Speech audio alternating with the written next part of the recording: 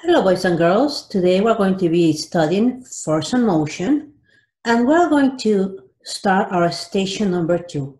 The name of the station is Make It Move, and we're going to be using a ramp to see how force uh, affects the motion of an object.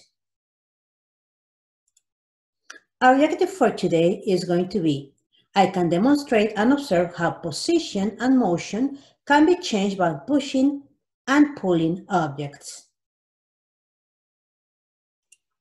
For this experiment, I'm going to use a ramp.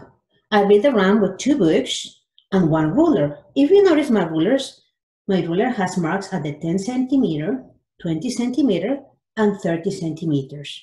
At the bottom of the ramp, I'm going to place this cup, if you notice, has a hole.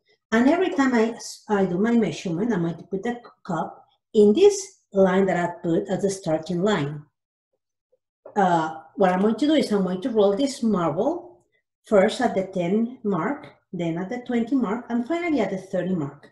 Every time we do experiment, we're going to do three trials. So we're going to start with the, with the marble pushing down the ramp at the 10 centimeter, and we're going to try three times, and we're going to record the distance every time the marble that is rolling down is going to push the cup back. So well, uh, we're going to register this. You're going to register these measurements in your student journal. Uh, one thing that you have to notice is that the marble is going to be moved by the force of gravity. So when I put the marble in the 10 mark, the, the force of gravity is going to be pulling down the marble. The higher I go on the ruler, the more gravity is going to be pulling the marble down. So it's going to accelerate the marble down the cup. So it's going to have more potential energy. And when I release it, it's going to become kinetic energy, which is going to move the cup. And the same here, the higher I go, the more potential energy I have stored. And when I release it, the more kinetic force is going to be going down the ramp and pulling farther away the cup. So let's start our first trial. Now, don't forget that every time that we do the, do the experiment, we have to measure the distance. That's why I have a ruler here to measure the distance. So let's start the first trial. So let's start at 10 centimeters. There it is. I'm going to let it go. And let's see how much it pushes the cup back. So that was my first trial. And if I use this pointer, I can see, I'm going to try to put it um, to the um, parallel to the starting line. And if you notice, it's closer to four centimeters than to three centimeters. So we're going to run the number to four centimeters. So the first trial is going to be four centimeters. Write it down in your journal. Now let's do it again. This time, we're going to do it again, 10 centimeter mark.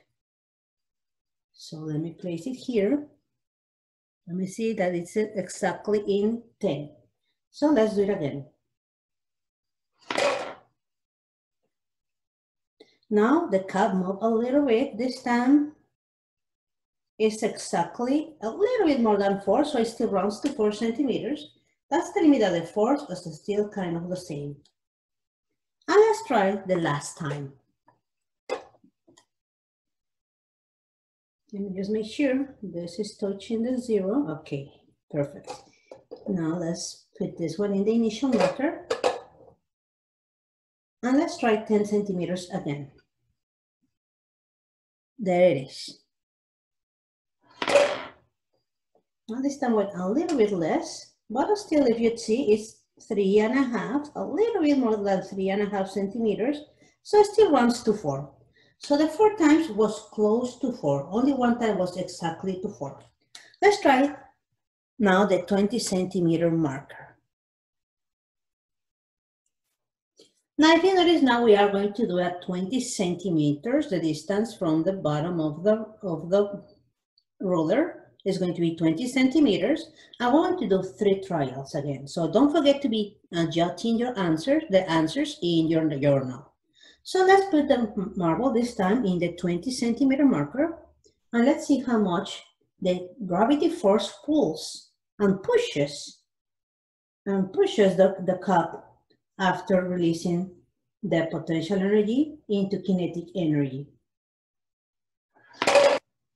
And this time we notice that the more gravity force the more distance is going to move. And this time, if you notice, it's almost seven centimeters. So our first trial, we're going to round it to seven centimeters. Now let's do the second trial. Let's put it back in the initial marker. Oops, I need the marble too. Put in the starting line, and then let's do it again. There it is. This time move a little bit further, and if you notice, past the eight centimeters, but still is closer to eight centimeters than to nine centimeters. So I'm going to round it to eight centimeters. And let's do our last trial.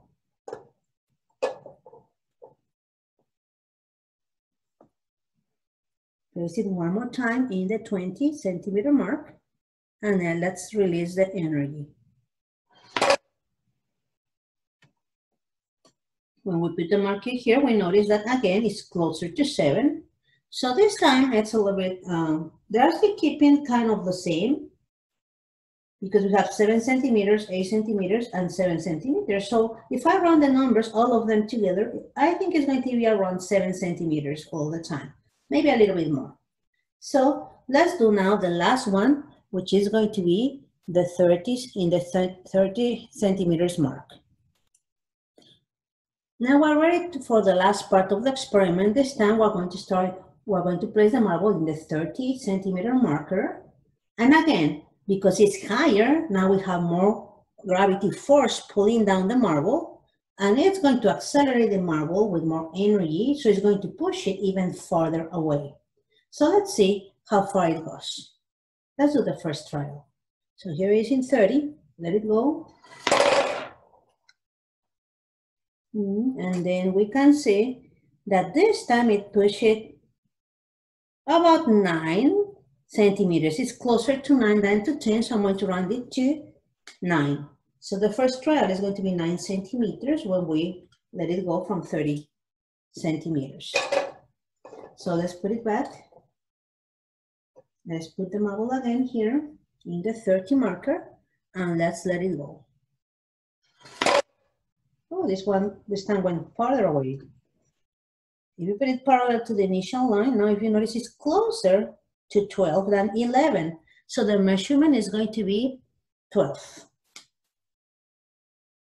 12 centimeters. And let's do the last trial.